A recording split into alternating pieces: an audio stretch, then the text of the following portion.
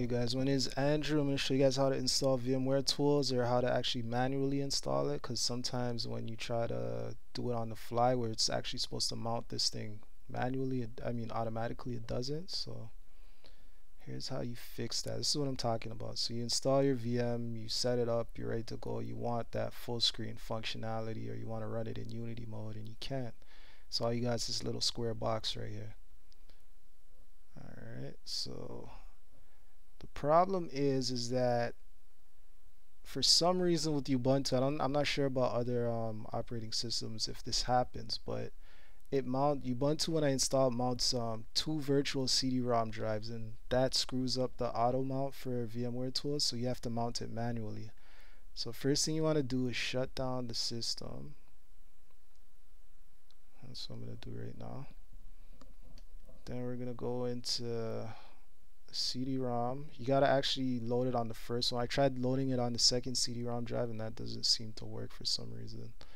So you're gonna want to locate the VMware's VMware Tools ISO, and that's located in C drive, program files x86, uh, VMware, VMware Player, and you see the different um, VMware Tools installs for FreeBSD, Linux, NetWare, Solaris, Windows, and so on. So being as this is a Linux uh, distribution, we're going to use Linux ISO and load it there. So what'll happen now is when you start the virtual machine, it's going to go ahead and actually mount that ISO, which will eventually allow us to install VMware tools, which is the point of the video. So I'll give it a minute, let this load up. Okay, okay, okay.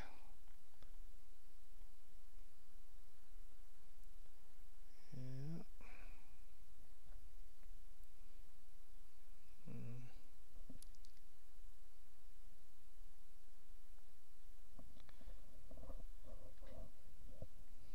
Mm-hmm. All right, so now we're gonna go ahead and log in. I'm gonna show you guys how to install it.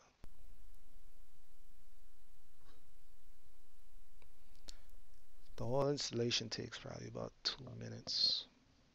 You might also notice that after you actually install VMware tools, Unity mode won't work with the default um, desktop manager that comes with Ubuntu. Sorry, I'm a bit sick. Um, just gotta mind the cough a bit. Bear with me. Alright, so actually, let me do this. Going to show you how it's actually mounted now. So now you can see VMware Tools is mounted. So there's two ways you can install this thing. You can extract it here using the GUI, which I personally don't like doing. It takes actually takes longer. So I'm going to do show you how to do it command line. What you want to do is open a terminal. Then you're going to cd to where it mounted to. If you're un if you're not sure where something's mounted, if you look in the file manager and you highlight well you just hover the mouse over it, it'll actually show you where things are mounted so as you can see here it's um, under media a green VMware tools so when we go to the terminal, we're going to cd into media, a green VMware tools.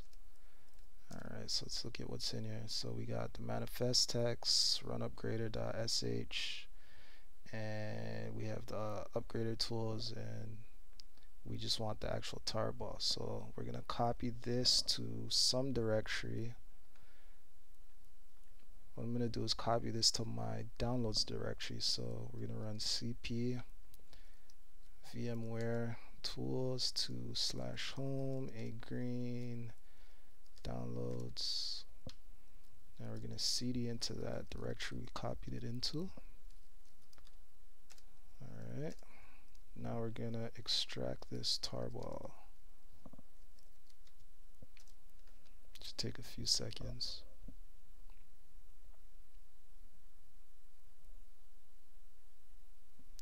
Alright, so now we uh, we change directory into the directory we want to go into and we want to run this VMware installer.pl file. So what this is is just basically a script that's going to tell it how to set up um, VMware for VMware tools for our particular um, operating system. So we type uh, dot slash VMware tools, sorry, VMware's dash install.pl. But we can't run it as a regular user, so we got to use a uh, super user. In this case, we use sudo. So after you run that, you got to put in your administrative password or your super user password and it's to give you a bunch of directories to install things into. I stick with the default ones for now just for demonstrating purposes, but you can actually specify where you want these files to go. So right now we're just to leave it all default. Enter, enter, enter. Anything that access for, we're just to leave the same. Alright. Initializing. give it a few more seconds. That's alright. There we go. Alright. So path to GCC appears to be valid. Yep. Don't want to change it, no.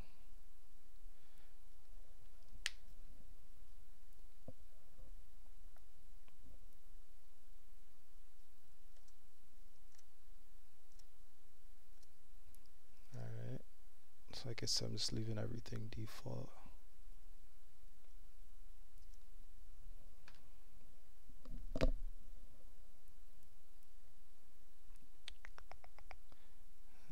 Okay sometime today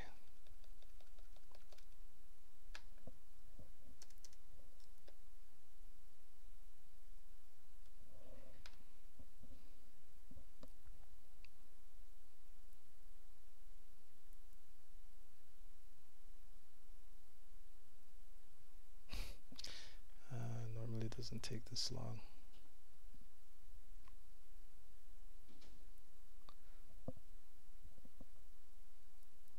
Alright, so it looks like we got it fully installed. So now you're probably thinking it'll work at this moment, but it won't. So we still don't have full screen functionality. The reason is is because certain things that need to be loaded are not, so we want to log out and then log back in. So we're going to log out.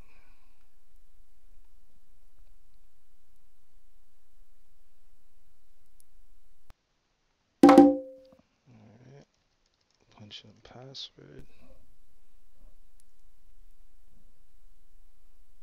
Should be able to get full screen mode now. Yep, there we go. So this is what my favorite feature um, VMware Tools is actual full screen functionality. So the second thing I want to put in this video is how to enable Unity mode. So when you click on it now as it is, uh, you got it successfully installed and all of that. So now you want to check out this Unity feature, which is pretty cool. Um, it says a virtual machine cannot enter Unity mode. Check that Unity is supported for the guest operating system and that the latest version of VMware Tools is installed. So we're gonna assume that all of this stuff is already, you know, set and it's updated, all of this, and it's good to go. What the actual problem is is the desktop manager we're using right now is not compatible with Unity mode, so we have to install another one, and that's what we're gonna do. Um, so we open the terminal again. We say sudo apt-get install gnome shell. And this should um yes so I know for a fact that um unity mode's actually compatible with um, this manager so it should be it should work fine I'm sure there's other ones out there but I'm not I don't know. I haven't really tested them, but I don't know. Did I? I don't mind using them. Works pretty well for me. So we're gonna go ahead and let this thing finish installing. Go grab a coffee, drink some water, maybe hit the washroom. I don't know. This looks like it's gonna take a bit of 57 minutes. Somehow I don't think that's correct. Actually, let's go into full screen mode now. Why not?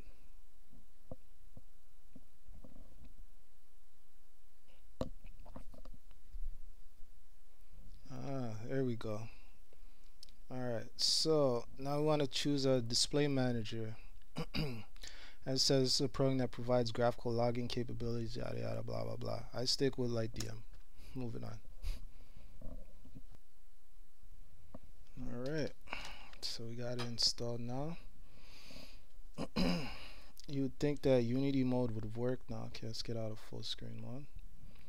Alright, so you'd think Unity mode would work now, but it doesn't. So you still get the same error about it um, not being supported by the guest OS. What the problem is is that you gotta log out and then switch to that GNOME shell that we just installed. So we log out.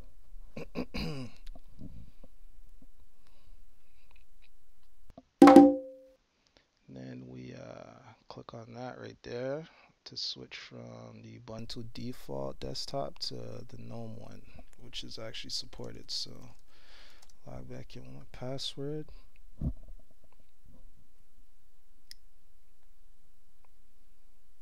Alright, so once you get logged in, you'll see that this will now be enabled. See it? There we go. So now we can get into Unity mode. And what Unity mode does is make it look like it's Windows, but it's actually not. So when you click over here, you what you can do is open terminals on your desktop, games, uh, internet, whatever. You just use your machine sort of like it's Windows, but it's not. And it's actually pretty cool. So there. You got like a blend of a Windows OS with a Linux um, VMware running in the background. And you can do whatever you got to do without you know mucking about in the VM but you know you get stuff done. It's pretty cool. So yeah. That's it in a nutshell